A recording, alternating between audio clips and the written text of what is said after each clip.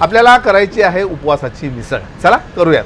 आणि यासाठी आपल्याला लागेल बटाट्याचा गोड चिवडा त्यानंतर तळलेला साबुदाणा ओलं खोबरं कोथिंबीर चालत असल्यास तिखट बटाट्याचा चिवडा त्यानंतर उपवासाची खिचडी किंवा उसळ हिरव्या मिरचीचा ठेचा नुसती हिरवी मिरची ठेचलेली त्यानंतर उकडलेला बटाटा दाण्याचं कूट शेंगदाणे अख्खे भाजलेले जिरे मीठ आणि कोकम किंवा आमसूल आणि दहीसुद्धा आपल्याला थोडंसं लागेल. चवीनुसार साखर. आणि सगळ्यात पहिले आपण काय करू की एक ह्याची छान बटाट्याची भाजी असते ती तयार करून. मिसळ म्हटलं म्हणजे खालती बटाट्याची भाजी वर कोणी पोहे घालतात आणि नंतर कट घालतात. तरी तर ती तरी तर नंतर पण सध्या बटाट्याची भाजी आपण तयार करून घेऊ. त्यासाठी तेल किंवा तूप तुम्हाला जे आवडतं ते. जिरे.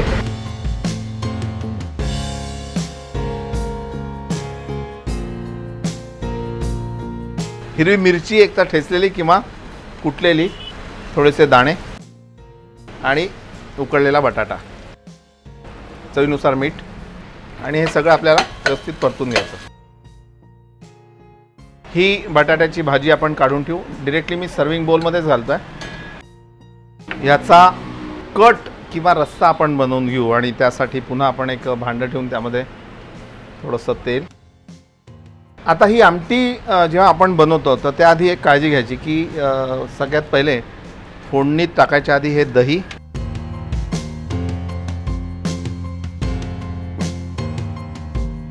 छान घोटून घ्यायचं. त्यामध्ये दाण्याचं कूट म्हणजे हे दही फाटत नाही फोडणीत.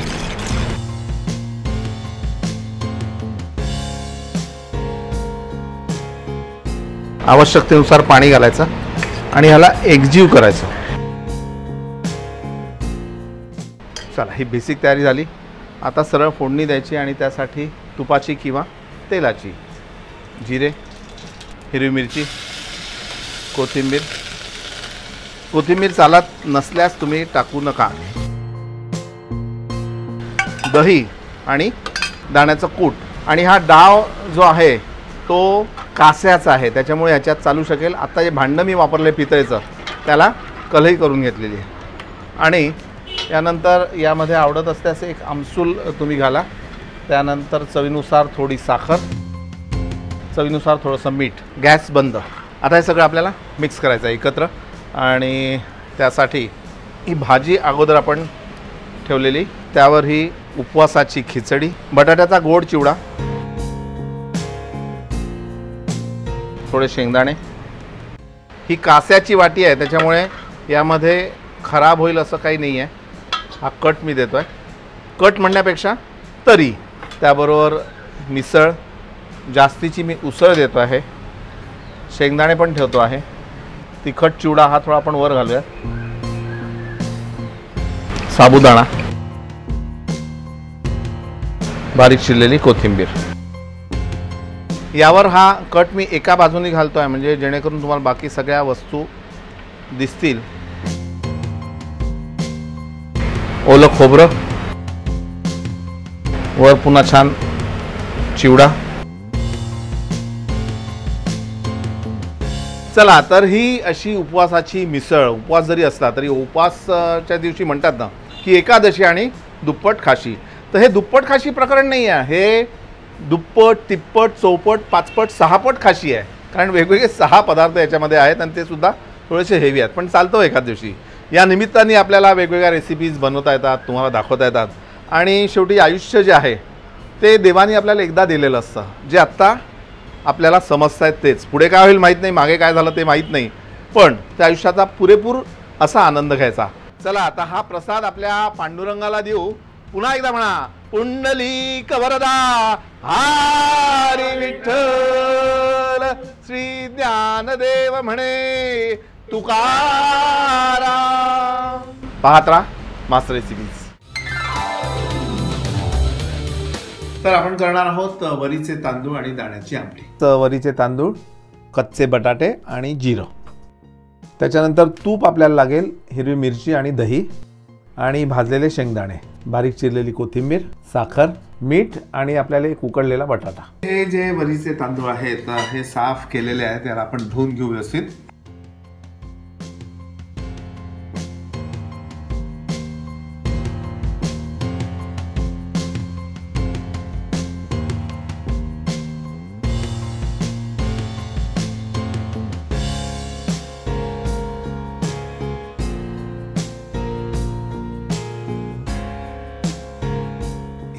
ही किंवा वरीचे तांदूळ मी धुवून घेतले.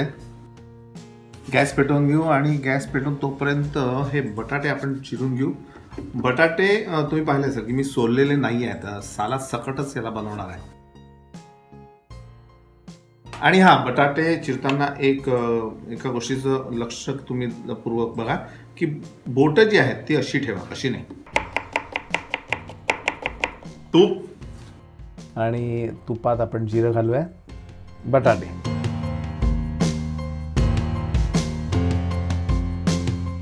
थोडं याला परतून यामध्ये घालू आपण पाणी. आता यामध्ये मी दीड वाटी पाणी घातलंय. आणि आता ही आमटी. तर आमटी करता मी शेंगदाण्याच्या तेलाचा वापर करतोय. हे तेल जोपर्यंत गरम होत आहे तोपर्यंत हे पाणी जे आहे ते आपलं उकळून गेलंय. यामध्ये आपण घालू थोडंसं मीठ. त्यानंतर हे भरायचे तांदूळ. आणि हे दाणे मी यामध्ये घालतो थोडेसे. आमची आई घालायची बघा. याचं कारण असं असायचं की कोणाला जर भगरबरोबर आमटी नको असेल तर नुसती भगर सुद्धा छान लागते. चला हे ठेवून देऊ आपण. ह्याला मंद असेल आपण करूया तोपर्यंत आज उपवास आहे. तर उपवास म्हणजे एकादशी आणि दुप्पट खाशी म्हणजे पापड वगैरे आपल्याला तळायला पाहिजे. पापड आहेत ना काहीतरी.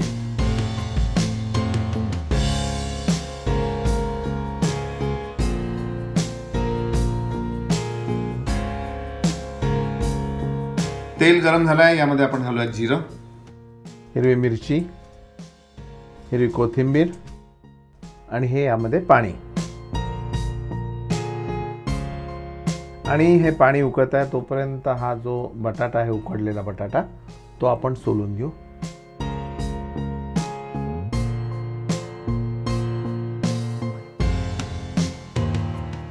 यामध्ये बटाटे जे टाकले आपण ते अगदी हलक्या हाताने असे मॅश करून टाकले खूप जास्त हे नाही करायचं आहे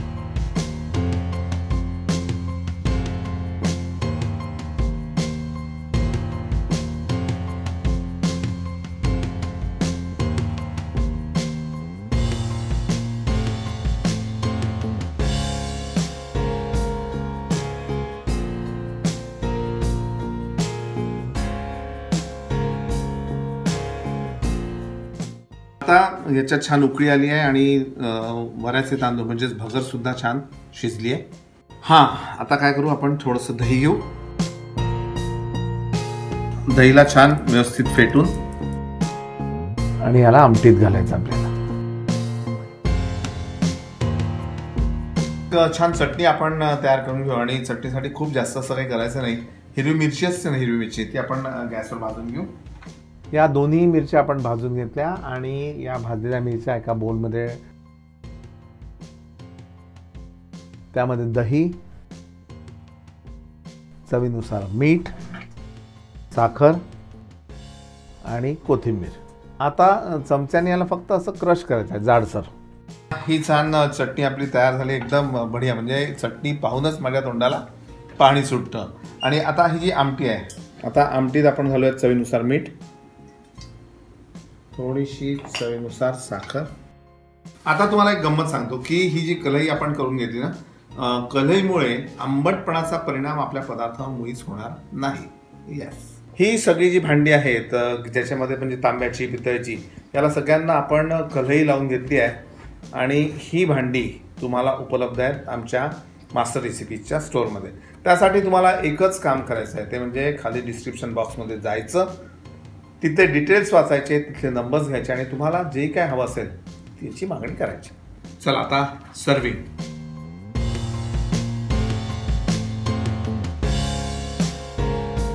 पहिले आपण भगर किंवा बऱ्याचे तांदूळ घेऊ एक आता ही त्यावर दाण्याची आमटी. थोडी कोथिंबीर.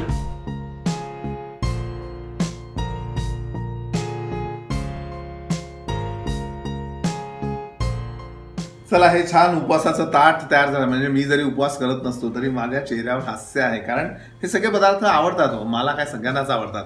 तर हे ताट तयार झालं. तुम्ही त्याचा आनंद घ्या. आवडलं तर लाईक करा सबस्क्राईब करा शेअर करा. मास्टर रेसिपीज नमस्कार. मास्टर रेसिपीजमध्ये सगळ्यांचं मनापासून स्वागत. आणि आज जो प्रकार आपण करणार तो उपवासाचा प्रकार आहे. म्हणजे आता उपवासाचे दिवस सुरू आहेत. वटपौर्णिमा आहे. किंवा नंतरही सगळे आता उपवासाचे महिने आहेत त्याच्यामुळे सगळ्यांना काहीतरी वेगळं लागतं चटपटीत लागतं. तर आपण करूयात उपवासाची कचोरी. मध्यम आकाराचे दोन बटाटे. त्याच्यानंतर एक वाटी ओल्या खोबऱ्याचा किस आणि साधारण वाटीभर आपल्याला आरारोट लागेल जो उपवासाला चालतो. त्याच्यानंतर कोथिंबीर आहे हिरवी मिरची आहे. तर कोथिंबीर ज्याला चालत नसेल त्यांनी टाकू नये. त्याच्यानंतर बदाम आणि मनुका आहेत लिंबू आणि साखर. आपण पहिले बटाट्याचं मिश्रण तयार करून घेऊ त्यामध्ये बटाटा कुस्करून घ्यायचा आहे आपल्याला. आणि बटाटा कुस्करण्यापूर्वी हात स्वच्छ धुवून घेणे. अंगठ्या वगैरे असतील तर त्या काढून घेणे. येस तसं कचोरी म्हटलं तर कचोरीचे वेगवेगळे प्रकार आहेत. कचोरी म्हटलं की साधारण आपल्या डोळ्यासमोर लाल बदामी रंगाची टम्म फुगलेली अशी कचोरी येते. त्याच्यानंतर एक बेडमी नावाचा प्रकार आहे जो उत्तर प्रदेशामध्ये मिळतो. तोही कचोरीचाच प्रकार आहे. पण थोडा त्याच्या इन्ग्रेडियंट्समध्ये आणि तळण्यामध्ये फरक आहे. एक शेगाव कचोरी आपल्या इथे प्रसिद्ध आहे. त्याच्या आतलं जे सारण असतं ते वेगळं असतं. वरचं कव्हरिंग असतं ते सुद्धा वेगळं असतं. आणि ही उपवासाला चालेल अशी कचोरी. त्यामध्ये चवीनुसार मीठ आणि आरारोट आपल्याला घालायचं आहे. आत्ता मी आरारोट घालतो आहे पण समजा तुम्हाला साबुदाण्याचं पीठ घालायचं असेल तर ते सुद्धा तुम्ही घालू शकता. हे बाइंडिंगचं काम करतं. आता आतलं सारण जे आहे त्यामध्ये ओलं खोबरं बारीक चिरलेली कोथिंबीर हिरवी मिरची मनुका आणि काजूचे तुकडे भरपूर लिंबाचा रस चवीनुसार साखर चवीला मीठ. हे सगळं आपल्याला एकत्र करून घ्यायचं. लिंबाचा रस साखर आणि मीठ घातल्यामुळे खोबऱ्याचासुद्धा जो ओलसरपणा असतो या सगळ्यांना मिळून एक छान असा ओलसरपणा येईल. हे झालं आपलं सारण. आता कचोरीची तयारी. त्यासाठी एक असा गोळा घ्यायचा. असं जर वाटलं की हे गोळा करायला आपल्याला त्रास होतो आहे तर थोडासा तेलाचा हात घेतला तरी चालेल. त्यामध्ये हे सारण अशी कचोरी बंद करायची. कुठे जर उघडं असेल तर त्याला थोडंसं हाताने एकत्रित करायचं. म्हणजे काय तेलात गेल्यावर फुटायला नको. आणि हे सगळे असे तयार केल्यानंतर आपण काय करायचं की थोडंसं आरारोट किंवा साबुदाण्याचं पीठ घ्यायचं. त्याच्यावर हे छान घोळून घ्यायचे. येस आणि अशा पद्धतीने तयार करून तुम्ही जर याला डिफ्रीजमध्ये ठेवलं तर हे दोन दिवससुद्धा राहू शकतील. आणि वेळेवर पाहुणे आल्यावर छान गरमागरम तळायचं आणि खायला द्यायचं. आता तुम्ही म्हणाल की परत वरून आरारोट किंवा साबुदाण्याचं पीठ का लावलं? आला की नाही प्रश्न? माहिती आहे मला. तुमच्या मनात प्रश्न आला असेल. तर यासाठी की समजा कुठून हा फुटला असेल तर तेलात गेल्यानंतर फुटायला नको. त्यांनी काय होतं की तेल पूर्ण तुमचं खराब होतं आणि पदार्थ तुमचा बिघडतो. म्हणून हे सगळं सेफ्टीसाठी आपण याला तळूयात. तळण्यापूर्वी तेल व्यवस्थित गरम झालं आहे की नाही पाहायचं? आणि एक काम करायचं. कित्येक वेळात काय होतं की तेल वर येतं. म्हणून हा असा झाला घ्यायचा हा ठेवायचा खाली. ह्या दोन मिनटं गरम होत्या तोपर्यंत आपण एक काम करू. की याच्यावर एक चटणी आपल्याला लागेल. आणि काय करायचं की आपला हा मसाला उरलेला आहे.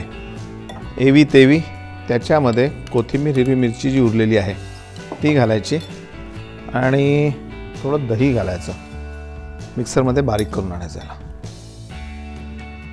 आणि यावर ठेवून पहिला एक तळून पाहायचा हा व्यवस्थित राहतो आहे असं कळल्याबरोबर आपण ह्याला आतमध्ये सोडून द्यायचं.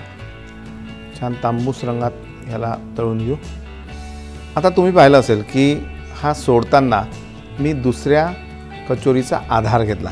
तो यासाठी की डिरेक्टली जर घातलं असतं ती खालती पडली असती ते तेल वर उडलं असतं आणि तुम्हाला पुन्हा इजा झाली असती. म्हणून बुडत्याला कचोरीचा आधार.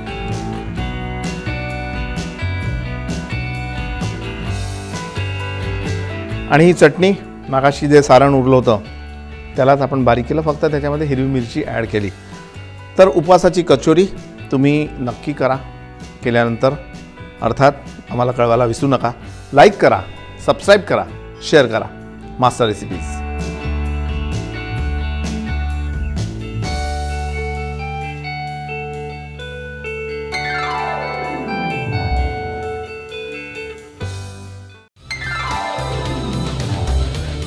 नमस्कार. मास्टर रेसिपीजमध्ये सगळ्यांचं मनापासून स्वागत.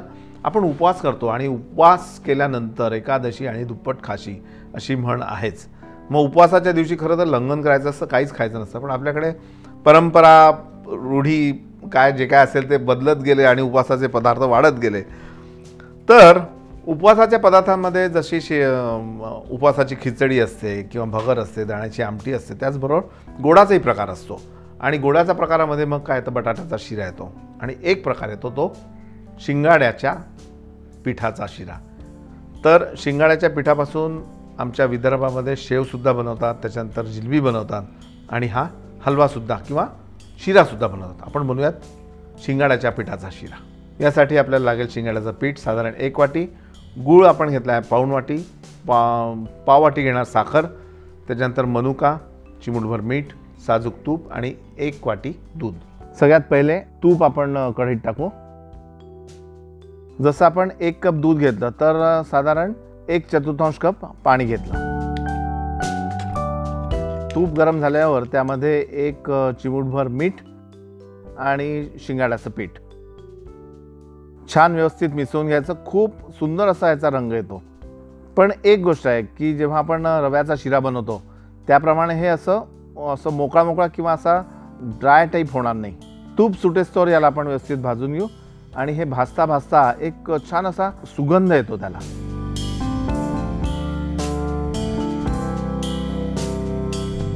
आता हे पीठही छान भाजून झालेलं आहे आणि दूधही गरम झालं आहे. आता यामध्ये घालूयात आपण दूध. गुळ. आणि साखर.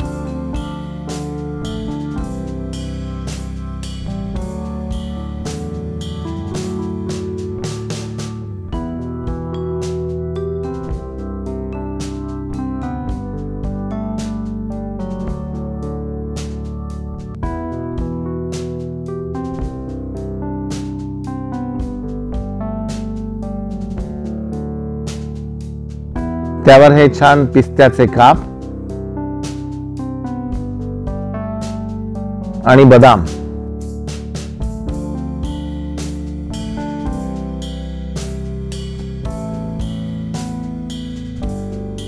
तर अशा प्रकारे आपला हलवा तयार झालेला आहे. आणि हा हलव्यामध्ये पूर्ण गूळ घेतला तर जास्त चांगलं. ते कॉम्बिनेशन ॲक्च्युली छान होतं. साखर घेतली तर तो थोडा चिकट होतो. म्हणून मी आत्ता जसं अर्धा गूळ अर्धा साखर घेतली पण तुम्ही नुसता गुळ घेतला तरी चालेल. आणि नक्की बनवा. तयार करा. केल्यानंतर लाईक करा सबस्क्राईब करा शेअर करा. पण हे कधी? जर तुम्हाला हा प्रकार आवडला तरच. पाहत राहा मास्टर रेसिपीज नमस्कार. मास्टर रेसिपीजमध्ये सगळ्यांचं मनापासून स्वागत. आणि मी आहे सध्या अमेरिकेत सान फ्रान्सिस्को येथे. आणि तुम्ही बघत असाल की विश्वजीची रसोई इथे सुरू होते आहे. सान फ्रान्सिस्कोला. आणि इथे आल्यावर लक्षात आलं की जिथे विष्णूजी की रसोई आहे त्याच्या आजूबाजूला बरीच अशी मोठी मोठी ऑफिसेस आहेत की जिथे नोकियाचं एक मोठं ऑफिस आहे. त्याच्यानंतर याहू आहे गुगल आहे याशिवाय यूट्यूब आहे. आणि यूट्यूबचं ऑफिस म्हटल्यानंतर माझ्या असं लक्षात आलं की आपण इथे जायला पाहिजे. आणि मी गेल्यानंतर तिथे मला मी पाहिलं की जसा जसं आता आपला कुकरीचं चॅनल आहे. त्याचप्रमाणे इतरही वेगवेगळे असे चॅनल्स आहेत. एखाद्या विषयाला धरून आणि त्यांनी नुसतेच चॅनल उघडले नाहीत तर त्यांची मेंबरशिप वाढल्यानंतर त्यांचे सबस्क्रायबर्स वाढल्यानंतर त्यांनी त्याचा ग्रुप फॉर्म केला. काही लोकांनी क्लब फॉर्म केला आणि मग त्या क्लबच्याद्वारे त्यांनी आपल्या क्लब मेंबर्ससाठी वेगवेगळ्या ॲव्हेन्यूज उघड्या केल्या वेगवेगळ्या छान अशा गोष्टी आणल्या की ज्यांनी त्यांनाही फायदा झाला आणि क्लब ओनर जो होता त्यालासुद्धा फायदा झाला. तर मी म्हटलं की इथे आलोच आहे. असा विचार केला की आपल्याकडे छान दोन प्लॅटफॉर्म आहेत इशूजी की रसोई आणि मास्टर्स रेसिपी.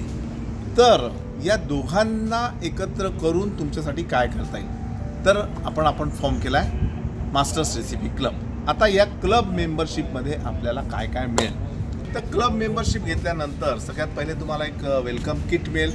त्या किटमध्ये असेल एक छान ॲपरन मास्टर रेसिपीचा लोगो असलेला. त्याच्यानंतर माझं एक पुस्तक असेल. आणि याशिवाय भरपूर ऑफर्स आम्ही देणार आहे. की त्याच्यामध्ये तुम्ही एक पंचवीस लोकांचा ग्रुप घेऊन आलात तर त्याला सरळ सरळ पंचवीस टक्के तुम्हाला सूट असेल. आता पंचवीस लोकांचा ग्रुप म्हणजे तुमच्याकडे बारसं असेल डोहा जेवण असेल किंवा बड्डे असेल तर तुम्ही तिथे एन्जॉय करू शकता. याशिवाय दहा लोकांना कम्प्लिटली पन्नास टक्के सूट असेल वर्षातून एकदा. सर लवकर तयार व्हा छान एक क्लब फॉर्म करू. गेट टुगेदर करू. आणि हा अजून एक महत्त्वाची गोष्ट म्हणजे तुम्ही क्लब मेंबरशिप घेतल्यानंतर तुम्हाला मास्टर रेसिपीजचं जे आपलं स्टोअर आहे त्याच्यामध्ये पहिल्या ऑर्डरच्याही पाच टक्के सूट मिळेल. याशिवाय वेगवेगळ्या शहरांमध्ये आपल्याला फूड फेस्टिवल्स करायचे आहेत. आणि माझ्या असं एक लक्षात आलं की नुसत्या या ऑफर्स किंवा फ्री कुपन्स देऊन तशी काही मजा नाही. मजा कशात आहे? की क्लबच्याद्वारे जर आपण एकत्र आलो एकत्र भेटलो एक छान ग्रुप फॉर्म झाला तर आपण काय करू की कित्येकांच्या मनात खूप काही काही करायची इच्छा असते. तर कोणाला लेखक व्हायचं असतं छान रेसिपीज डोक्यात असतात पण त्या नेमक्या पुस्तक रूपात कशा मांडायच्या पब्लिश कशा करायच्या आणि विकायचं कसं? तर याबद्दलच्या टिप्स मी तुम्हाला देईन. कित्येक लोकांना रेसिपी छान येतात पण त्या प्रेझेंट कशा करायच्या? जेणेकरून एखादं छान यूट्यूब चॅनल तुम्हीसुद्धा सुरू करू शकता किंवा टेलिव्हिजनवर तुम्ही दाखवू शकता किंवा लाईव्ह शोज किंवा क्लासेससुद्धा काढू शकता. कोणाला कॅटरिंगचा व्यवसाय करायचा असेल त्याबद्दल मार्गदर्शन तुम्हाला मिळेल. किंवा तुम्हाला स्वतःचा व्यवसाय सुरू करायचा असेल जर छोटंसं आउटलेट असेल रेस्टॉरंट असेल त्याबद्दल तुम्हाला सगळं मार्गदर्शन या क्लबकडनं मिळेल. आणि आपण जेव्हाही भेटू तेव्हा नक्की मी तुम्हाला काहीतरी देऊन जाईन असं मला वाटतं किंवा द्यावं असं मला वाटतं. तर तुम्ही हा क्लब जॉईन करा असं मी तुम्हाला आवाहन करतो. आणि भेटूयात लवकर एखाद्या मास्टर रेसिपी क्लबच्या गेट टुगेदरमध्ये आणि यासाठी काय करायचं? यासाठी करायचं काहीच नाही. डिस्क्रिप्शन बॉक्समध्ये खालती जायचं. तिथे बघायचं. तिथे एक व्हॉट्सॲप नंबर आहे. त्यावर तुमचं नाव रजिस्टर करायचं आणि बाकी सगळी माहिती तुम्हाला त्यावर मिळेल.